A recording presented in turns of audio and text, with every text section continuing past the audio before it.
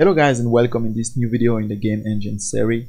Now in the previous video we've been talking about texture manager and the parser of textures. So we created like a method which we use to parse our texture. The idea was like we had like an XML file in which we actually add our texture files with their IDs and the path um, to those textures and then we simply pass this file name to a parser that will simply go out and grab all these um, texture in this file and add them in our program so that we can use them. Because the problem was that we had these huge lines of code right here. Every time we had to create to add a new texture in our game or our game engine we had to write this you know and this actually increased the size of the code which also uh, make the program slower to compile to be compiled. And you know we want to reduce the compile time as possible and this is actually why we actually do this. Now we can simply use one single line as you can see right here and pass the name of that XML file and you know pass all those texture. But this is not done during the compilation phase. That's the difference. This is going to be done when we're running the application. So we reduce the compiling time and that's actually good. It's a good thing. So if you guys don't know what i'm talking about you can still go back and check that out in the previous video we've been dealing that and uh, you can see right here we have all those texture on the screen and ah that's that's the whole idea of that. Now in this video we're gonna be um, doing something else. We're gonna be changing some couple of things in our animation and uh, we want to make sure that we we are able to make better animations because there is basically two ways of making animation the first way is the one we have been using since we, we started this with the sprite sheet. So you have like a sequence of image on a single image and there you simply loop through and select the part of the image you want to draw on the screen. But there is also another way of making animation. This is um, which is through image sequence. So you have like uh, single images which you can actually you know use to create an animation. And you have like a speed or like a time that you need to switch from an image to another one to create the animation. And that's what we're actually going to be doing. And since uh, the, the, these are two uh, two ways of making animation we didn't want to mix them in a single animation class. That's why we had to change the animation class. Our animation class that we had before is going to be now an abstract class which is going to be um, inherit from sprite animation, sequence animation. You know, this is the name I found for them. This, this is normally the same thing, but you can call it whatever you want. Take the name that fit for you. But I'm coming to that in a couple of seconds. I'm just kind of set up what we're going to be doing. And yeah, that's why it's important for us to do that. And we simply inherit from animation in a sequence and sprite because those two ways of making animation actually have similarities and we want to you know reduce as much as possible lines of code. So that's what we're going to be doing in this video. But before we get started i really want to you know invite you guys to subscribe to Madsycode that's a way you can actually support my work. But you can also go out and support me on patreon and you know become a patron. You will get also access to some uh, specific content. You will also be able to download the project and um, you can also have access to the um, uh, github repository i have for this project actually which is private. You could get access to the final version of this and you know if you don't want to watch this through you can also go out and become on patreon and you'll get access on that and all that kind of stuff. So let's get started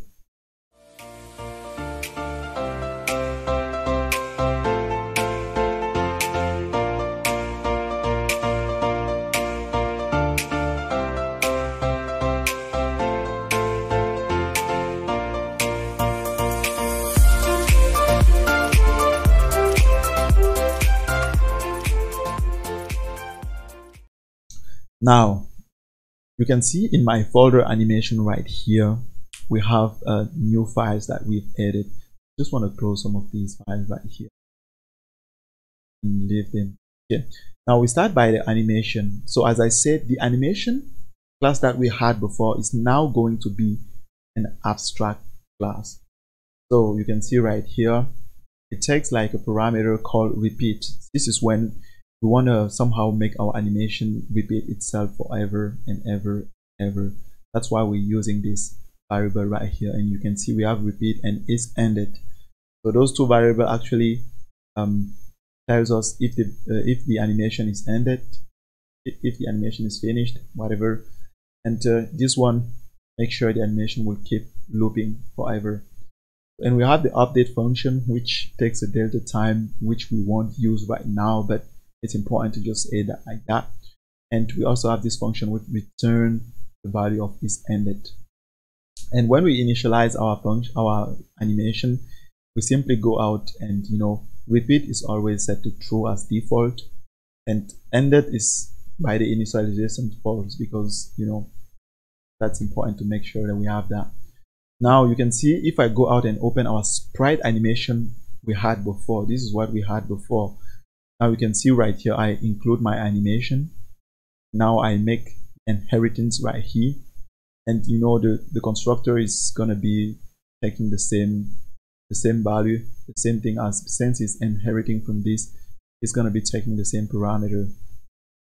We have the update function which we're to be implementing here. You can see here this was a virtual. We had to implement this function. That's why we have it here. Our draw function hasn't changed it hasn't changed. All we have added you remember this uh, these scale things because we needed that. So we just add these two variables for the scale value. And uh, we also have the set property which hasn't changed. Those functions right here are not needed. I was just making a test with that so don't worry about that. The rest is just the same. I haven't changed anything about this. So and if we go in the CPP file we um what is wrong right here yeah we haven't add this um these scale values in our draw frame so I want to make that right now because if I don't then it should work normally that's not a big deal just take the values right here. I already have some custom values right here, so we leave it like that for now. It's working. Because if I compile it, you see it's working. We have we just haven't used those values. That's why those scale values. So this is basically the same thing. Now we have this other sequence animation right here. As I said, this guy takes single image and make animation out of them but we're going to be doing this using the power of our XML that we created this parser we're going to be you know somehow parsing animation that's going to be more powerful for us to deal with this kind of animation up here we have like a sequence so a sequence is for example when we have our player we have the um, run sequence we have the jump sequence we have the fall sequence those are sequences that's how I call them. So it doesn't matter what you think right now. So that's how I call them. So those are sequences and we have information about sequence right here. Now you can see we created like um like um the current sequence. So if I add this sequence animation to my player, for example, I want to know which one is the current sequence of the player. Is the player running? Is the player idling? And so go on. And here we have like a map in which we have all sequence of that component for the player for example we simply pass those or simply add those sequence using an id like we simply say run and we add the sequences. And you can see the sequence right here has some information. The speed for you know the time we need to change between two frames. And the frame count how many frames how many images do we have for this animation animation the width and the height. And we also uh, have this uh, vector right here which stores all IDs of those textures of those images.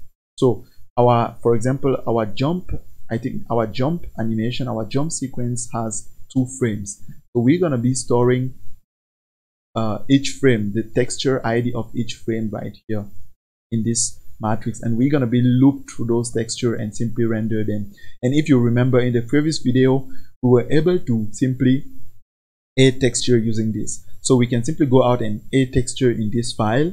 And here we'll simply create another XML file called player animation in which we'll simply add our IDs and we'll simply pass them and add them in this and we'll have this figured out. I, I'm not sure we will have time to do that in this video, but we're going to be uh, doing that definitely for the enemy. We're going to be creating our enemy probably at the end or in the next video, we're going to see. Now, um, yeah, that was important for me to explain. You can see right here, we have some important function. The update is the virtual function from the parent class animation. You know, the constructor, there's no nothing to say. We also have this parser right here, which parse an animation. We're going to be dealing with that. It's coming, so don't worry. And we have the set current sequence. So if, for example, we want to change this the state of the player to run and uh, from run to jump, then we simply set the current sequence and we give the sequence ID, which is in this sequence map right here. Now, set repeat. We want to set if the, the animation is going to be repeated or not. And here we have draw frame, which I'm going to be changing to draw. Just like that. And the rest is the same thing as before. Now I have to switch over to the sequence CPP. Make sure I remove the draw frame or we can simply leave it because we're actually drawing frames. So no one is angry with that. So why should I change that? So we go to the CPP file and here you can see this is the initialization. We simply call our repeat and we pass the repeat that is given. So that's straightforward. We have our draw function. Why does it have draw? Ah, I'm in the sprite animation. I'm not in the sequence. Sorry. Here is it. So we have this sequence animation right here. We call the constructor. We have our draw frame function, which simply call the draw frame, the draw of the texture manager. If you see right here, we're not drawing a frame. We're simply drawing an image with file size. That's why we're not using draw frame here. We're using draw simply. And here we normally pass our scale X and scale Y. The update function this is how we want to update this. We want to make sure they repeat. This is because sometimes you want to make sure uh, an animation is not repeated and you know that's why we're doing this right here. That's why we check okay if repeat is set and we're not ended then we set ended to false because ended is not it's not ended right now. So in the current frame we calculate the new value of the current frame and we can keep using that frame up here to render. You can see we say current sequence, the sequence that the current sequence that we've set it, we say texture ID. If you remember, the sequence actually has the texture ID right here. So we say texture IDs and we pass the current sequence. We take the value, the number of the frequency of the frame that we have to draw on the screen. That's what we're doing right here. And we also say current sequence width and current sequence height. And down here we do, we also check, okay, if not repeat and the current frame is equal to the last frame. See? That's why we take frame count minus one. We say okay and that is equal to true. So this is in the case the animation is not repeated when we don't have to repeat. We say current frame is equal to current frame uh, equal to current frame frame count minus one because we want to make sure we stay at the last frame. So we animate till the last frame and we stay there. That's the now set current sequence, it simply take an ID. We have our sequence map here, which we pass from the XML file. We're coming to that. And if we want to change the sequence, we simply say, okay, we give the ID and the sequence is going to be set it. So, and what we're doing right here is we check if this sequence actually exists. If not, we return this message, this message right here. If this sequence here doesn't match what we have in our map right here, simply return an error message. And now we finally got our parser. So what it does, so it's important for me to show you the XML file from which we're going to be parsing. So for that, I have this file right here. You can see this is basically, um, we have a new character that we're going to be using to make this animation. I need to show you that character. So let me go, go ahead and grab that first. Go to my assets folder and paste it here so I call it boss. This is like the boss. And in there we have different um, sequences. So you can see I have this folder right here in my in my asset. You will find this in the um, in the source code in the description below. So you'll get access on that. So this isn't my creation. I downloaded it from I I don't know itch.io something like that. So you can see we have different um, we have image sequence right here.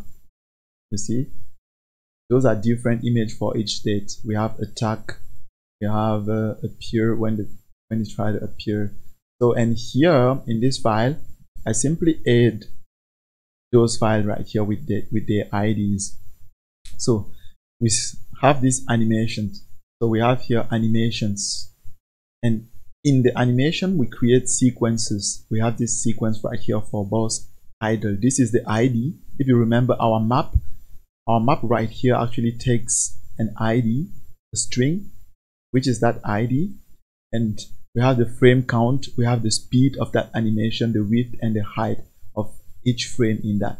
And here we just list those frames and if you can see right here we haven't give the path to the frames. We simply give the ID the guy who is in charge of texture ID is the texture file. That's why we need to add those information in this file right here so that's the reason why I simply added all those images, all those texture. You can see we have boss idle one. This is the source of it. So if I go into my, or oh, I have to change this asset so small assets. Sorry, I can do this fast with VS Code, and we got this because our assets folder has a small a, so I want to make sure I don't mess up with that. I want to make sure I don't because you see right here we have asset with a and we want to make sure we have the correct value right here. So here I just add those are the images and those are the IDs and what I do in the animation is I simply use those IDs so I'll simply pass IDs and we'll simply use those IDs to make animation that's actually what makes this so interesting so that's that's that's it so as I said, if you don't have like sprite images, you have a lot out there in the internet. You can download them and use them, or you can simply download the source code in the description and you'll have access on all that. You'll be able to get the same result as me without spending your time trying to find the full value of the speed, of width, and all that kind of stuff. So, so what this parser actually does is it go inside of that animation file and parse all sequences so the first thing you want to pass is the animation, the sequence ID. You can see we set the sequence ID to this. So we create a new sequence. We load uh, the sequence ID, the attribute. You can see right here, sequence ID, boss idle. That's why we get that one. And we get the, the speed, the width, the height, the frame count. So we have all those information right here. You can see frame count, speed, width, and height. And now we use those variables right there to create a new sequence. That's why we adding those value to this to the sequence value right here. And in TinyXML we already talked about this. If you want to get a number attribute you pass it you pass the address of that number and the value of this attribute will be written in that variable. That's why we go to sequence and we say speed now here we want to pass all those texture IDs that's why we go out and say okay so we have the sequence that we got right here. We simply make a loop through these frames right here and we simply pass the texture ID we pass the texture ID as you can see right here the texture ID and we simply pass them and push them in our vector of texture IDs of our sequence. You can see texture ID is a vector. So we simply push them inside and this is how we can simply pass an animation. And now we finally want to add that into our map. We add that into our map. We simply say sequence id and we add that. So i think this is really better because if we create our player we simply you know pass the animation from that file and everything will be dealt without us having to write any single line of code and again this is important because if you have to create like a UI where you want to create animation, this will be the best way to deal with it. Will be able to always come back and see what you did before because you can save it in a file. That's why we want to use this data driven architecture in our engine. So hope this is not uh, too complicated for you guys. I'm trying to explain as you know the best as i can and i hope you guys are enjoying this. We won't use it in this video. I think we don't want to make this too long and that's too much information for now. In the next video we're going to be creating like enemy and we're going to be using this sequence animation to, on, on that enemy. Because you see we created the xml file and everything we already have everything done but we just want to move and do that in the next video. So i will hope to catch you there. Don't leave without subscribing. And remember you can still go out and support me on patreon. This will also give you access to exclusive content and you'll also be able to ask me questions personally. And you know that's how we do it. So see you in the next video. Ciao